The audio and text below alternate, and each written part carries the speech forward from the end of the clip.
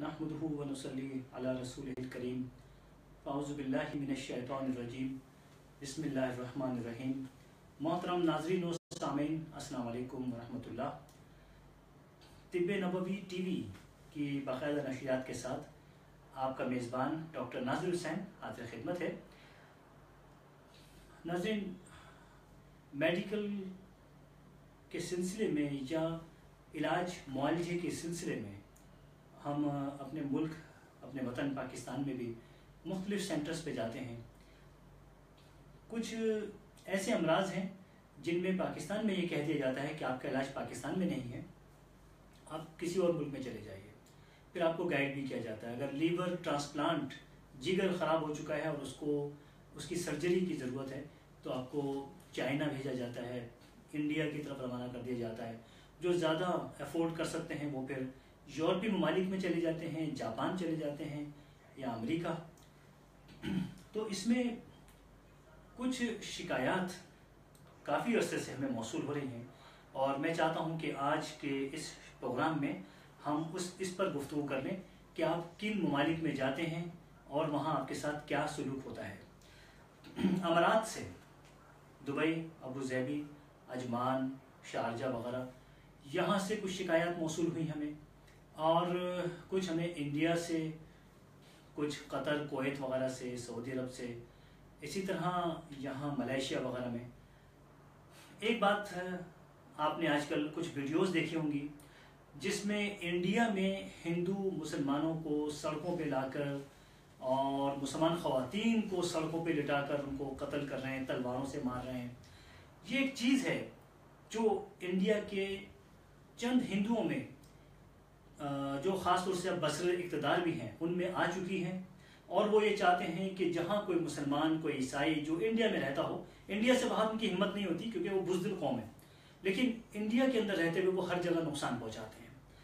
یہ بہت بڑا گروپ ہے۔ نوے فیصد ہندو اس خبت میں مبتلا ہو چکے ہیں کہ ہندو کے علاوہ جو ملے اس کو مار دو اور اس کو بے دردی کے ساتھ مارو۔ جانوروں کی طرح اس کو ذبح کرو۔ اب یہ چیزیں ہندو ڈاکٹروں میں آ چکی ہیں۔ ہمیں بہت ساری شکایات موصول ہوئیں اور ہم نے آج کے پروگرام کا موضوع بھی یہی رکھا ہے کہ آپ دنیا میں کہیں بھی جائیں، ہندو ڈاکٹر سے، پاکستانی کو خاص طور سے، پاکستانی، اور کسی بھی مسلمان کو ان کے، ان سے علاج نہیں کرانا ہے، یہ آج سے آپ نے ڈیسائیڈ کر لینا ہے۔ جو لوگ پاکستان سے انڈیا گئے ٹرانسپلانٹ کے لیے، ان کا جو حشر کیا انڈیا والوں نے، وہ ہمارے سامنے ہے۔ اور امارات میں جو پاکستانی ہاسپٹلس میں جاتے ہیں، وہاں کوئی ہندو ڈاکٹر مل جائے یا وہ ہسپتال ہندوؤں کا ہے، وہاں جو پاکستانیوں کے ساتھ سلوک ہوا ہے، اس کی داستانیں امارات میں پھیلی ہوئی ہیں۔ کویت میں، قطر میں، کیونکہ وہاں کی حکومتیں آنکھ بند کر کے چلنے والی حکومتیں ہیں، وہ بس پیسہ بنایا جائے اور عیاشی کی جائے۔ یا عیاشی کی جائے اپنے لیے کریں، بے شک ہمیں اس سے کوئی اعتراض نہیں، لیکن اپنے ان کے ملک کے اندر کیا کچھ ہو رہا ہے، وہ اس سے بے خبر ہوتے ہیں۔ وہ صرف یہ جانتے ہیں کہ بس حکومت کے خلاف کچھ نہ ہو، ملک اور سلطنت کے خلاف کوئی بات نہ ہو۔ باقی جو مرضی کریں، کوئی کسی کو قتل کرے۔ اب میڈیکل میں قتل ایک طرح کا جرم نہیں ہے۔ امارات میں جو واقعات ہوئے، بہت سے پاکستانی جو بہت چھوٹے سے مائنر کیسز میں ایڈمٹ ہوتے ہیں اور کچھ عرصے بعد ان کی لاش نکلتی ہے۔ یہ امارات میں اتنی زیادہ ہوا کہ آخرکار کچھ پاکستانیوں نے ان ہندو ڈاکٹروں پہ حملہ کیا اور اس طرح ایک ہنگامہ دبئی کے اندر کھڑا ہوا اور دوسری جگہوں پر بھی کھڑا ہوا اور پھر ایک واقعہ بھی ہوا کہ جس میں دس ہندوؤں نے مل کے ایک پاکستانی کو شہید کیا اور اس کے جواب میں جو پاکستانی کے جو والد صاحب تھے، انہوں نے دس ہندوؤں کو بخیر دیا جبکہ وہ گرفتار ہو چکے تھے۔ وہ بھی ایک طبی معاملہ تھا۔ تو یہ واقعات تواتر کے ساتھ ہو رہے ہیں۔ اب آپ صرف اس بات کو آج سے ذہن نشین کر لیجیے۔ دنیا میں کہیں بھی آپ جائیں، کسی ہندو ڈاکٹر سے آپ علاج نہیں کرائیے گا۔ اور اس میں یہ احتیاط نہیں ہے، بلکہ ہندو ڈاکٹروں نے یہ ڈیسائیڈ کر لیا ہے۔ یہ ہمیں کون بتا رہے ہیں؟ وہ ہندو ڈاکٹرز جو کسی وجہ سے ڈاکٹر ذاکر نائک سے متاثر ہو کے، کسی وجہ سے مسلمان ہو گئے۔ وہ بتا رہے ہیں کہ ہم نے ہندو ہوتے ہوئے یہ ڈیسائیڈ کیا تھا کہ جو پاکستانی اور جو انڈین مسلمان ہسپتال میں داخل ہوگا، اس کو ہم نے مار دینا ہے، یا اس کو ایسا نقصان پہنچانا ہے کہ وہ ساری زندگی بیماریوں کا شکار رہے، ساری زندگی وہ اپاہج رہے۔ اور ایک اور ڈاکٹر جو ڈاکٹر مہیش کے نام سے تھے، بعد میں وہ کرسچن ہو گئے۔ آسٹریلیا والوں نے تبلیغ کی، وہ کرسچن ہو گئے، کیونکہ ہندو تیزی سے اپنے مذہب کو چھوڑ رہے ہیں۔ انہیں اپنے مذہب میں کچھ مل نہیں رہا۔ اور وہ یہ بھی دیکھ رہے ہیں کہ ہمارا، ہم ایک دوسرے کو قتل کر رہے ہیں، ہم مار پیٹ رہے ہیں۔ ہم اگر سوشل میڈیا پر جائیں تو ہندو دنیا کے واحد قومیں جو وہاں گالیاں دے رہی ہوتی ہے تو جو سلجھے ہوئے ہندو ہیں، ان کو یہ احساس ہو رہا ہے کہ ہم لوگ کوئی قوم نہیں ہے، ہمارا کوئی مذہب نہیں ہے۔ ہم میں کوئی اخلاق نہیں ہے، ہمارا مذہب ہمیں کوئی گائیڈ نہیں کر رہا۔ ہمارے جو نیتا ہیں، ہمارے جو سیاستدان ہیں، وہ ہمیں راہ سے بھٹکا کے کہیں سے کہیں لے جا چکے ہیں۔ ہندو مت اب ختم ہو چکا ہے۔ گیتا اپنی اصلی حالت کھو چکی ہے۔ یہ باتیں وہ کر رہے ہیں جو ہندو کرسچن ہو گئے یا جو ہندو مسلمان ہو گئے۔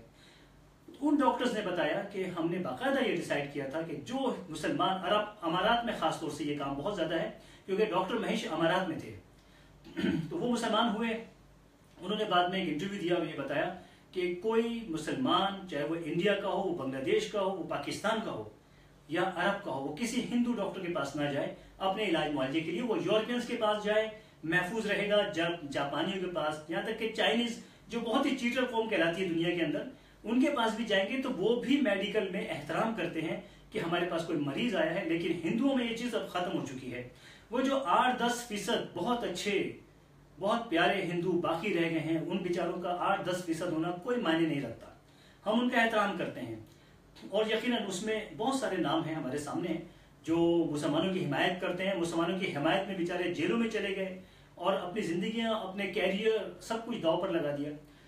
تو اب بات یہ ہے کہ بات کھل چکی ہے۔ امارات میں جو واقعات ہوئے اور کویت میں جو واقعات ہوئے ہیں ہندو ڈاکٹروں کے ہاتھوں۔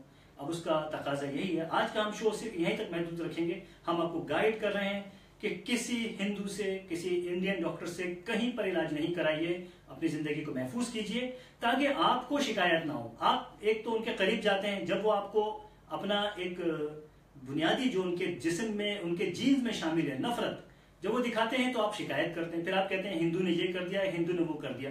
جب آپ ہندو کے قریب نہیں جائیں گے تو آپ کو شکایت بھی نہیں